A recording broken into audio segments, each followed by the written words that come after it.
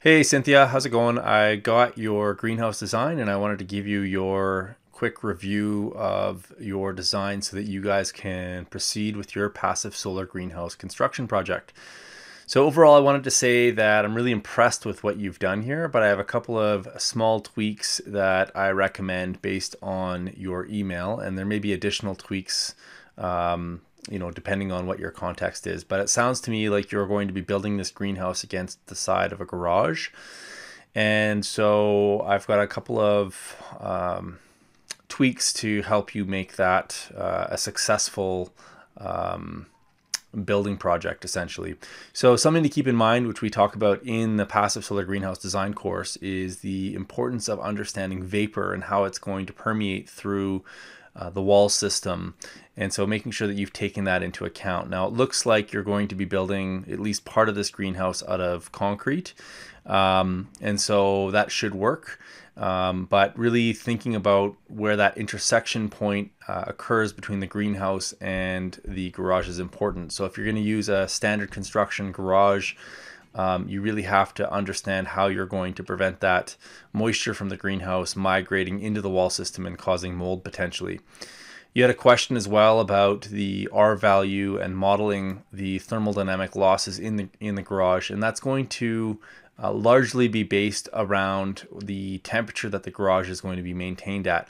If you're going to have a heated garage, um, then it changes how the model looks at that. And I would say just model it with the assumption that the garage is not heated as a worst case scenario.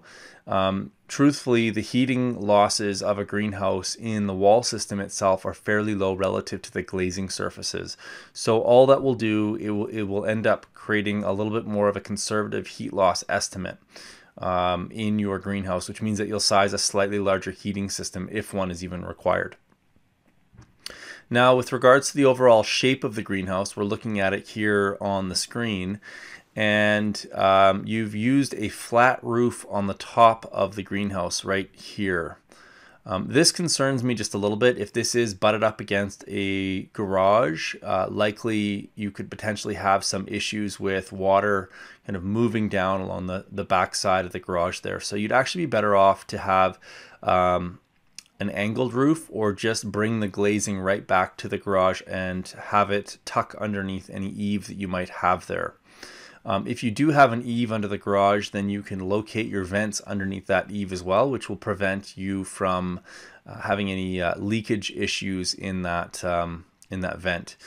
Um, one option is that you could actually create a uh, a roof like you've got here, and then put in operable skylights um, into that roof system for your ventilation, which will prevent you from having any um, water issues down the road with regards to that particular vent. I, uh, I really like all the cross vents that you've put into this greenhouse. I think you're going to really find that that's going to benefit the overall uh, ventilation and thermodynamics of the greenhouse. Um, again, if you've watched all the material in the course, you're going to remember that ventilation is always the weakest link when it comes to greenhouse design. So these cross vents are going to be really valuable for you.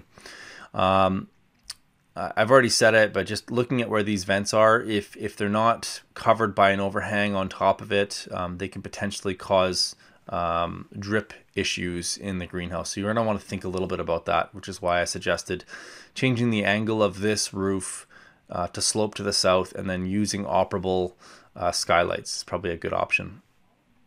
Um, I'm struggling to understand some of the dimensions you have here. Um, so you've got a three foot uh, high knee wall. That looks great. Um, and then six foot total height on the front of the greenhouse. Um, and what you're saying or suggesting here is that your uh, uh, vents, your lower vents, are four by six feet um, in the bottom here, but I think there's a dimensional issue. So if this is three feet and the total is six, then um, there's going to be a dimensional issue here. So likely this is going to be um, two foot, uh, two by two foot potentially uh, vents on the lower side here. If you do want to stick with the larger vent, which is fantastic, then um, you may just have to change some of the, the front dimensions of this particular greenhouse here. Uh, other than that, um, really impressed with what you've done here. Um, the concrete might be a really expensive option that you could potentially look at changing as far as uh, building material. I'm not sure if you're planning on using an insulated concrete form there, um, but uh, I'm sure you've thought long and hard about why you've chosen that material. If you do end up using a concrete wall and it's not made with insulated concrete forms, then you may want to clad it with an exterior insulated facade system, which is basically just polystyrene foam that you adhere to the outside of that concrete, and then you would place some sort of a siding or protective membrane on the outside of that insulation as well.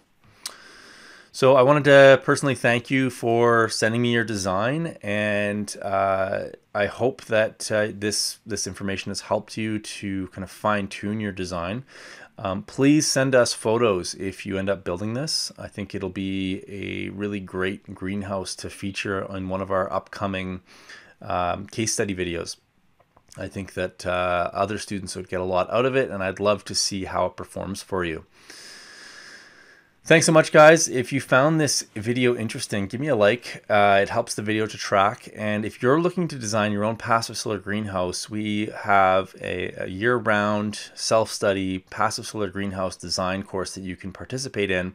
If you're just new to passive solar greenhouses, you can check out our free introduction to passive solar greenhouse design. And I'll put a link to both of those in the show notes below. Um, passive solar greenhouses are just an incredible space um, one of the things that has really struck me as of late is that with all of the extreme temperatures that we have been receiving globally, um, these greenhouses are really uh, suited to climate change adaptation and ensuring that you get a crop no matter what the weather does. Um, they're also wonderful spaces to hang out in the winter if you suffer from seasonal affective disorder.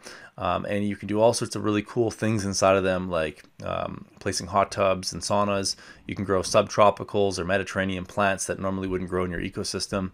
And you can extend the season so that you've got a supply of fresh vegetables no matter uh, what time of year. One of the coolest applications of these greenhouses that I've seen uh, is the use uh, within the urban farming ecosystem which allows people to produce greens 12 months of the year.